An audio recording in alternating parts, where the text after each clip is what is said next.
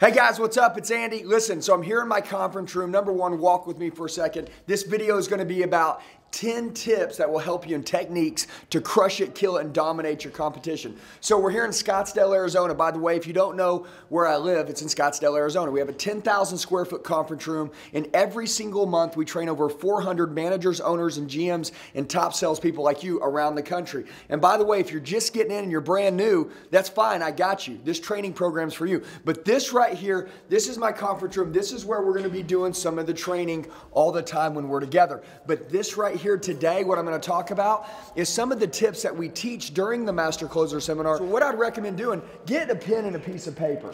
Take notes, write everything down, because if you really want to learn and you want to level up, this video doesn't cost you anything to watch. It's physically free. This is going to be tip one. So let's write it down. Presenting. Okay, now listen to me. If you're taking notes, you want to write down presenting. Write this down. Trust and rapport, okay?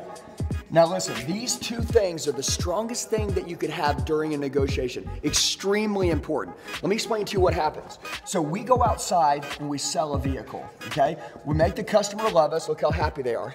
we go inside, first 90% of the time, we're outside on the lot, right? The last 10% of the time, we're inside collecting 100% of the money. Now, listen, on this time when we're inside, you are going to have to present a pencil. Now, look, the customer's state S T A T E, the state, the state of their being. They love you. They, they see you as a great person. They know you're awesome. You told them you're going to give them a deal they couldn't say no to. They love you, man. Their state is this. Now, look, outside, they told you they wanted to be at 400 a month.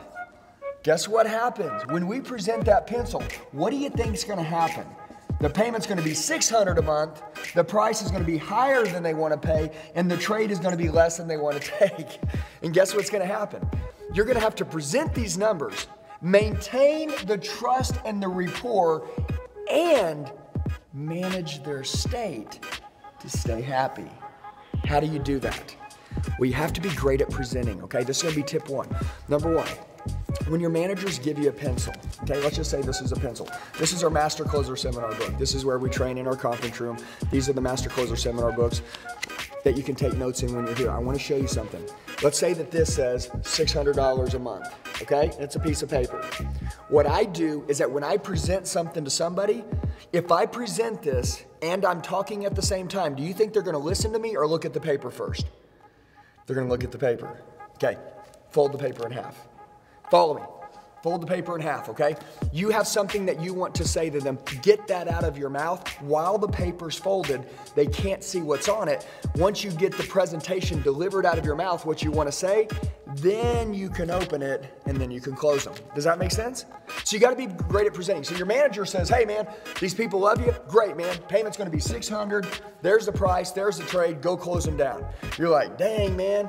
I know this when I walk in at 600 a month and they want to be at 400, they're to look like that. Okay? How are you to get around that? I call this the advanced equity program.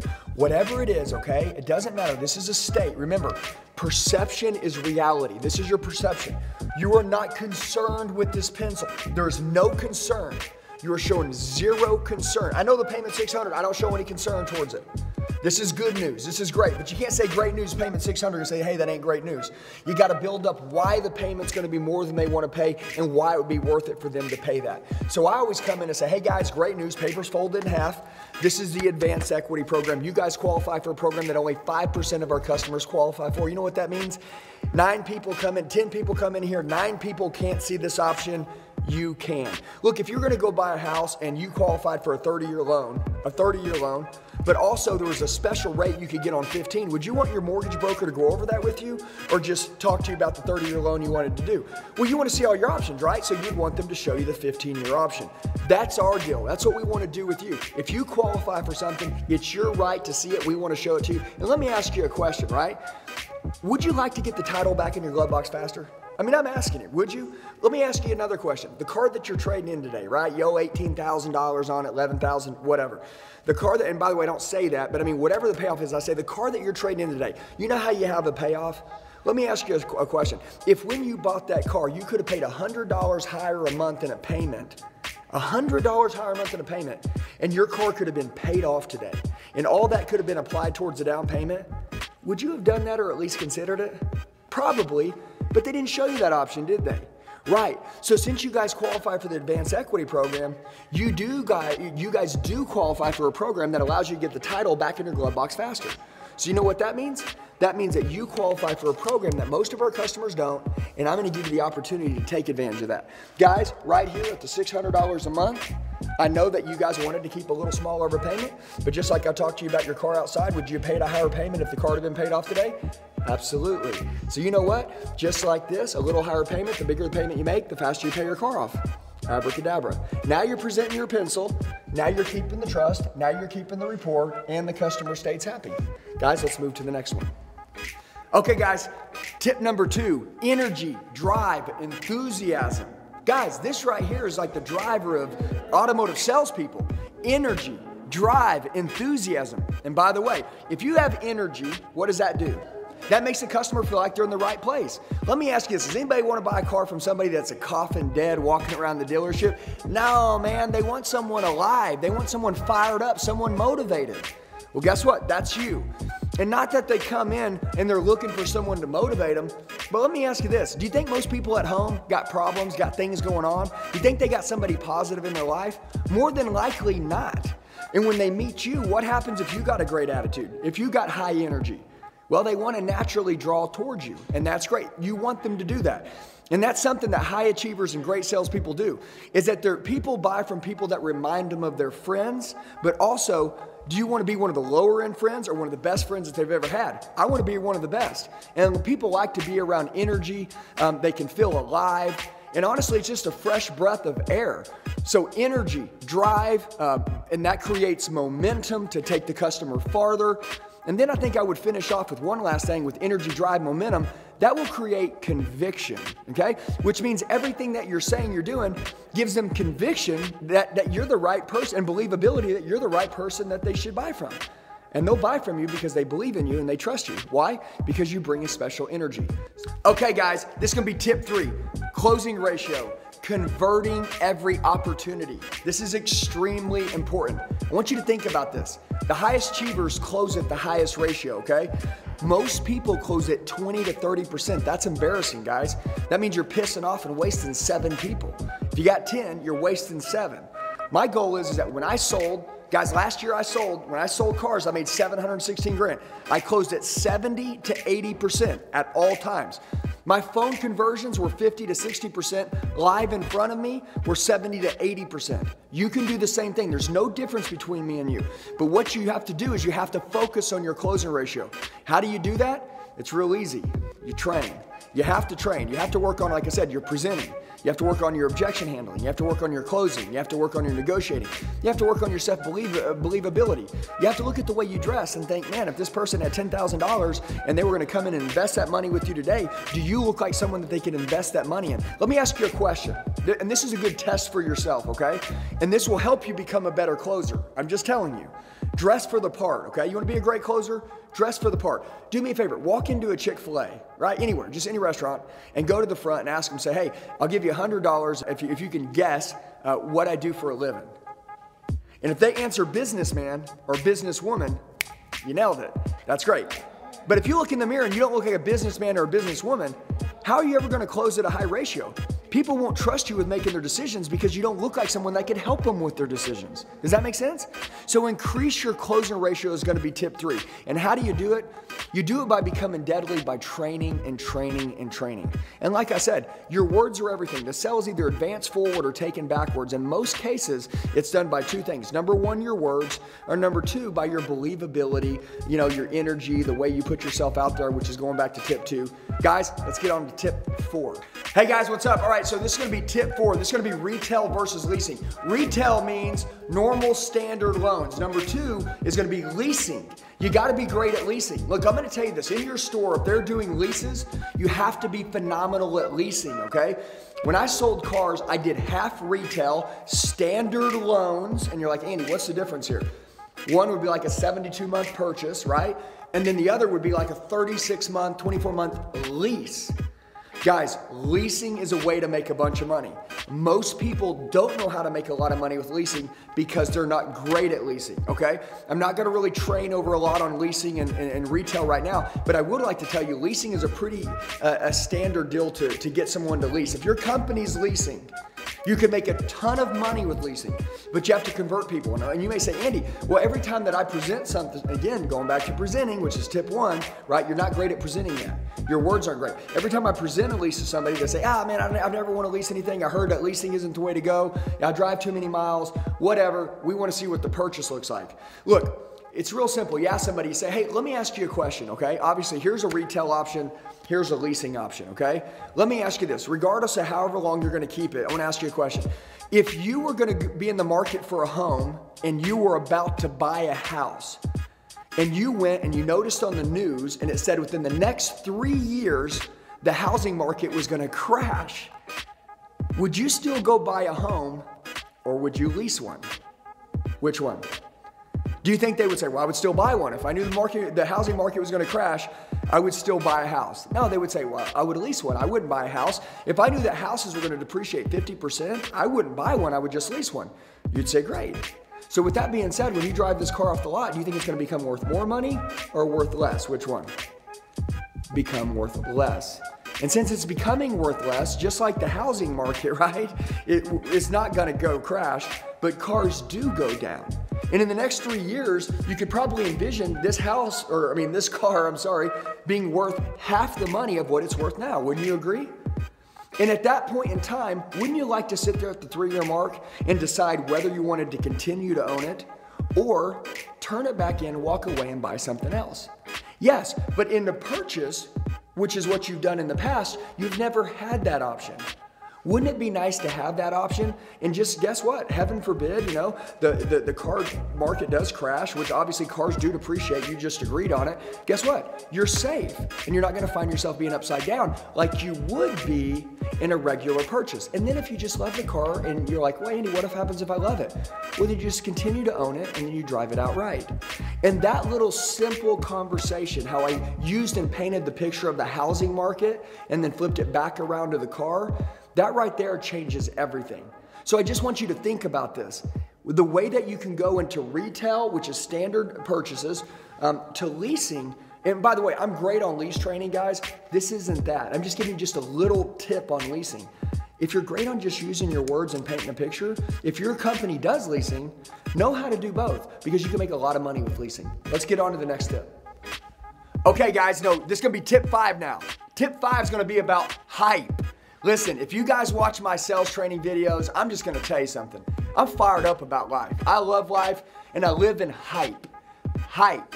I was a hype man in the dealership as a salesman, as a, as a manager, as a GSM, as a GM. Guys, I was the hype man. I was always about getting everybody alive, fired up, jamming up, rocking out. Long story short, we have about 25 guys that work for me here in my company. We're one of the fastest growing companies around, and I want to tell you about Hype, and I'm going to tell you about this. I'm a car salesman. I started when I was 18 years old. I'm 41 now. Guys, I'm 41. I have the energy of a, of a 16 year old. Anyways, let's walk in. I want to show you my conference room, my team, and I want you to just see the hype that they carry. And I want you to take this and still it. Just still it. And let's just see kind of what you think. Guys, meet the team. Meet the team. Guys, meet the team. This is called high. This is called high. Let's go! Is this hype?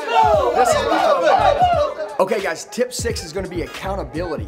This is probably one of the areas that you could truly destroy everybody on because most salespeople are not disciplined, okay? I always say this what do you eat? Distraction or discipline?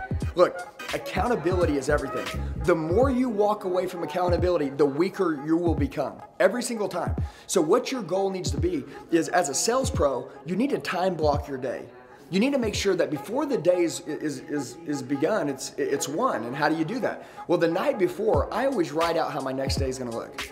I mean, I'm not saying that something isn't to come up, but the deal is I'm not just to go into the day and hope. The night before, I'm to write out how my whole next day is to go. Hey, I'm waking up at 5 a.m., 4:45 a.m. I'm going to the gym, and then I'm to eat, and then I'm to take my kids to school, and then I'm, and then after that, I'm going straight to the conference room. My deal is when I was in sales, I'm gonna go straight to the dealership. When I get to the dealership, I'm gonna be there 30 minutes before the dealership opens. I'm gonna have the keys to all the trade-ins the night before. I know exactly what's gonna happen. I'm gonna have these cars photoed, ready to rock and roll, and ready to put online 30 minutes after the dealership opens while everybody else is running around drinking coffee, bull crapping, right? Trying to just still wake up. Guys, I'm already alive and I'm killing it. Accountability is everything. Remember, the more you walk away from accountability, the weaker you become. Just never forget that, okay? So the biggest thing you want to do is be accountability. Also be accountable for your wins and your losses. Always take ownership for everything. I don't care what it is, this will change you faster than, any, than anything. Take ownership for everything, your wins and your losses. Even if you lose, take ownership for it. Don't blame it on someone else because when you blame it on someone else, what that will do is it, is it gives away the power to actually change that problem, right? Whatever it was that made you lose that, not, not war, but the battle, um, you give away the power to change it. Look, just own it. I got my ass kicked, I got my butt kicked, and guess what? I'm gonna fix it. No big deal. And guess what happens? You'll level up, you'll take accountability, and the next day you'll be 10 times better. Okay, guys, tip number seven. This is gonna be objection handling. This is my favorite, guys. How I killed it, crushed it, and dominated most people when I sold all my competition was my word tracks. My word tracks were deadly. And let me explain to you what I mean. When somebody says no, I could get them to convert that to a yes. And since I was good at that, guess what happened? I obviously didn't get defeated very often. And even when I did lose, which was very rare, I won so many times because I had great words that I always made a lot of money. Guys, my record month selling cars was 75,000 in one month. I mean, and that was selling, not being a GM or anything. That was selling. You can do the same thing. Look, guys, I was in a store that was selling 70 cars a month, okay, when I was younger. I averaged 70 cars a month out of that store and took the store to selling 210 cars. How did that happen? And that was their average. How did that happen? Well, when the tide rises, all ships rise. What happened is that I was in a store where the mindset was the top guy could sell 10 or 15 cars, he could make five grand. And you know what happened? I just wasn't gonna have that mindset. I didn't believe that way. My perception was my reality. My reality is I thought I could sell 50 to 60 to 70 cars a month there. So I did. Now, how did I sell all of those customers?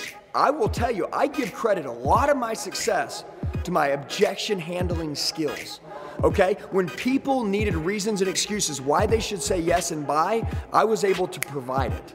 When the customer fell apart and their, and their state of being would start to crumble, my state wouldn't crumble. I would pick up momentum and I would hold the deal together with great words, enthusiasm, and conviction, and I would be the trusted guide. And that was why I sold so many cars and I did great. And I broke all the records in all the companies I worked for because of objection handling and word tracks. And I'll just tell you this if you've ever been to my website, okay, which and at the bottom of this YouTube video in the description, you can see I have a course. It's called Objection Handling Course. Objection Handling Course. You go to my website, the ElliottGroupNow.com, uh, the ElliottGroupNow.com. Okay, two L's, two T's on Elliott. But when you go to the elliottgroupnow.com or in the description below and you click on the objection handling course, I have a course for $299. It's a 60 video course that teaches you the toughest objections in a dealership. If you guys really want to level up with objection handling and you don't know what you're missing and you want to really fill a lot of holes, you'll scale yourself three times higher just getting that course.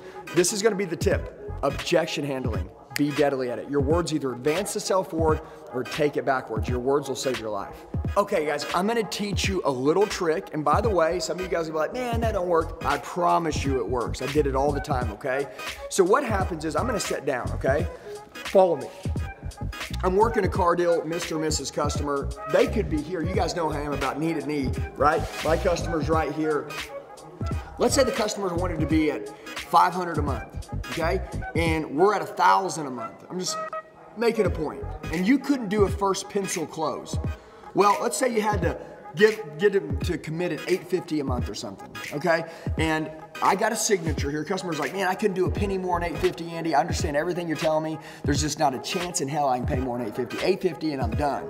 I say, hey, I totally understand. I completely get it. Look, here's what I'm gonna do. I'm gonna go to bat. You guys know you're gonna get a commitment at 850, okay? You're gonna have them sign it. I want you to understand this. So I've got a husband and a wife sitting here, okay? The second I get up and leave, what are they gonna do? They're gonna start talking about you. They're gonna start talking. I, I knew coming here was a bad idea. We wanted to be at 500. We're at 850 now. Dude, guys, it's gonna happen, okay? How do you prevent them from talking bad about you while you're in the pencil mode? How do you do it? I'm gonna teach you, okay? I call it the compliment close, okay? Listen, and you say, Andy, where do you come up with this stuff? Dude, I'm telling you, I sold for 23 years. I understand how customers work. People's state, S T A T E, their state is the most important thing to me. My job is to control the buyer and the seller management. The managing the buyer, which is my customer right here, is the most important thing to me. So what do I do? I say, hey guys, great news. Okay, so obviously I'm going to take the commitment of 850 a month back to my manager. I'm going to get it back for you. Let me see if I can make that happen. Sign right there. I'll be right back. And they're going to sign that, and I'm going to get up like this, and I'm going to say, hey, also, and I'm going to stop, and I'm going to turn around. Like, like I didn't mean to, like I didn't know I was going to say this, and I just come up with it. And this is what I call the pattern interrupt. Okay, it's called the pattern interrupt. I want to interrupt the pattern of what's about to happen when I walk off, which is them start talking bad to me. I say, hey, listen, um, I, I, just want to say this, you know, ma'am, you know, I, have seen you here with your kids, and obviously um, you're a great mom. I just seen the, the, love that you show your kids. I, I think it's incredible. I don't know if it's a little bit, you know, uncalled for for me to say this, but you're an amazing mom. Like seriously, like you're one of the best mothers that I've seen. And I just want to tell you, like a guy like me, I, I, didn't grow up with a mom, so I'll say, you know, me not having a mom, when I see a mom that's amazing to her kids, I just think it's a great thing. So, you know, sorry for just interrupting. I just want to say that I think you're an amazing mom and just don't stop. You're doing great. How do you think she feels as a mom? She's like, oh my God, I love this guy. You know what I'm saying? Compliment her. It's called the compliment close. Okay, you got a husband and wife. You know, you say, hey, look, let me go see what I can do. And hey, and by the way, I wanted to say something to you guys, man. You guys are like marriage millionaires, man. I mean, you guys get along better than any husband and wife I've ever seen. I've watched you guys around here. Obviously, you're madly in love. This is incredible. Look, when I go to get married, I'm getting some advice from you guys. You guys are awesome. I just want to tell you, it's great having you here. You guys are marriage millionaires and you're amazing. Sometimes, and I don't know if it's uncalled for me, notice I notice, I don't know if it's uncalled for for me to tell you that, but I, I feel like in this world, when people see great things, you know the news, how they always show just bad stuff? Nobody talks about the good things in life. Like, I just see you guys and I think you're amazing. So I just wanted to stop for a second and say, hey man, you're, you're a great couple. I love the way you guys take care of each other. It's amazing. The fact that you've been here, you guys obviously are passionately, madly in love with each other, and it's just awesome. You're an inspiration to all of us. Man, they're like, damn, man, I feel great.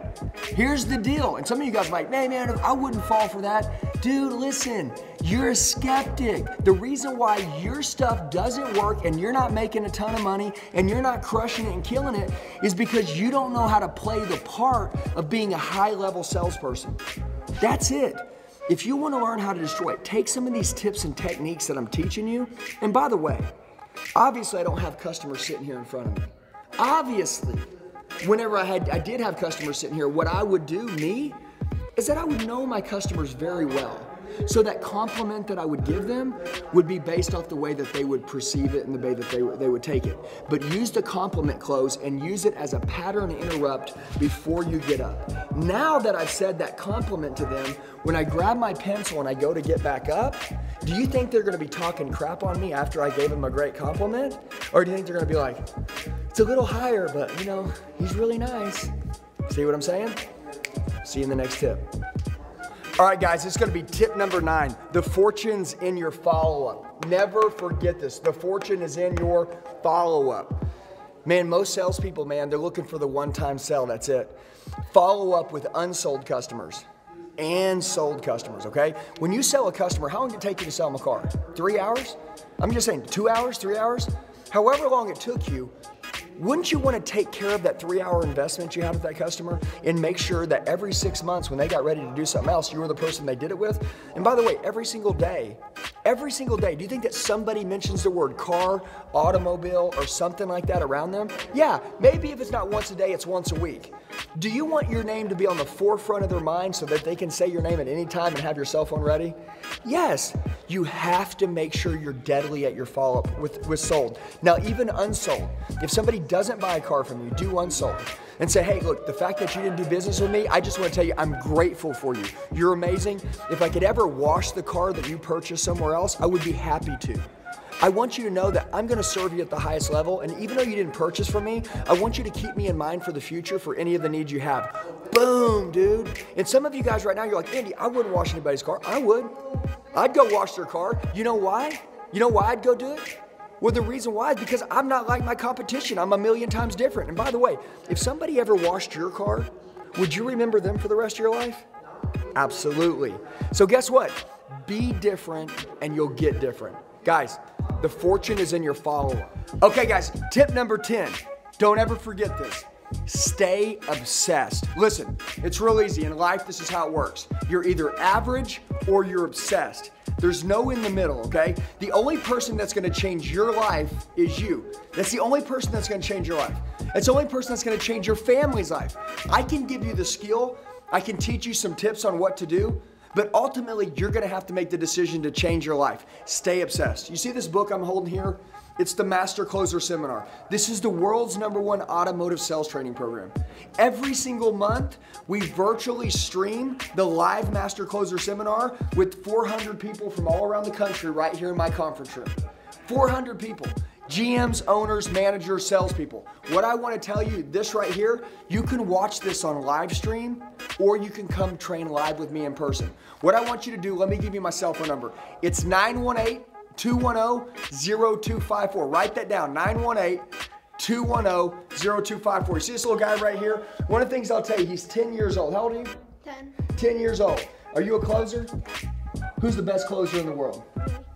Are you obsessed with being a great closer? Yeah. Okay, let's hit little man with an objection real quick, okay? And you guys know that I need to think about it close, right? Let's just test him out. He's 10 years old. He's around me all the time. Ian, is selling the, one of the most important things in the world? Yes. Why? Because it will help you. It will help you get whatever you want in life. If you can't sell, you ain't gonna get what you want. Am I right or right? See how I said right or right and I got him to say right? Got you. Hey, listen. All right, so I'm gonna hit him with a little objection. So this is gonna be it. So Ian, let's say that we're on the lot. I drive a car. You ask me to buy it, and then I say, "Hey, Ian, I appreciate it, man, but I need to think about it." Course, you need to think about it and give you enough reason not to think about it. What I like to do is give five minute proposal of all the numbers so you always have something to think about. Would that be fair? That's it, bud. That's it. He said, Of course you need to think about it. He said, I haven't given you enough information not to think about it. He said, I'd like to give you a quick five minute proposal of all the numbers so when you go home, you truly have something to think about. All he was doing was as advancing the sell forward. My son knows over 50 word tracks and he's 10 years old. One thing that I'll tell you that my kids have taught us is never stop learning. Whether you're young, you're 18, or you're 25, or you're 60, and you've been doing this for 30 years, or you just got in the business, some of you guys are burned and you're on your way out. Look, guys, I'm gonna tell you, I made 700 grand selling cars. It's not about me. I'm teaching other salespeople to do it all around the country. This is the world's number one automotive sales training program.